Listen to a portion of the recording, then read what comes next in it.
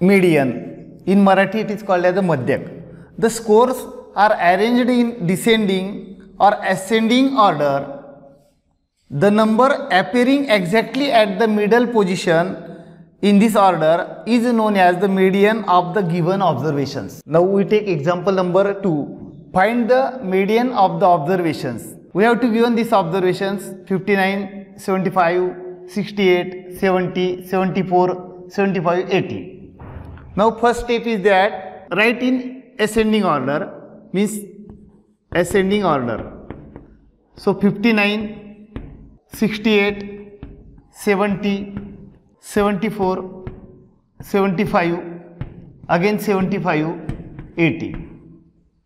Now middle is 74. So median is equal to 74.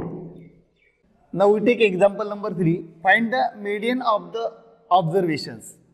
30, 25, 32, 23, 42, 36, 40, 33, 21, 43. Write the given observation in ascending order. So 21, 23, 25, 30, 32, 33, 36, 40, 42 and 43. These are in ascending orders. So total number of observation is 10.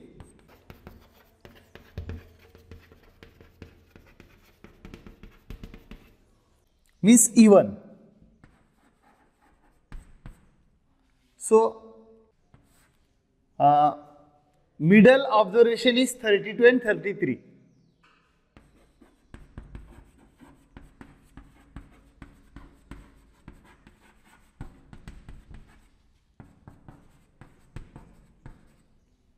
Therefore, median is equal to this fifth and sixth observation. Sum of the fifth and sixth observation means 32 plus 33 upon 2 means 65 upon 2 is equal to 32.5. This is the median of the given observation. Now we take mode. In Marathi it is called as the Bahulak. The scores which is repeated maximum number of times in the given data is called as the mode of the data. Now we take the examples on mode. Now we take example number 3, practice set 7.5. The marks out of 100 obtained by 7 student in a mathematics exam are given below. Find the mode for these marks. Marks are given he- here 99, 100, 95, 100, 100, 60 and 90. Where to find out the mode? If we write these marks in ascending order, then it is easy to find the mode of these observations. Okay? So, write these marks in ascending order.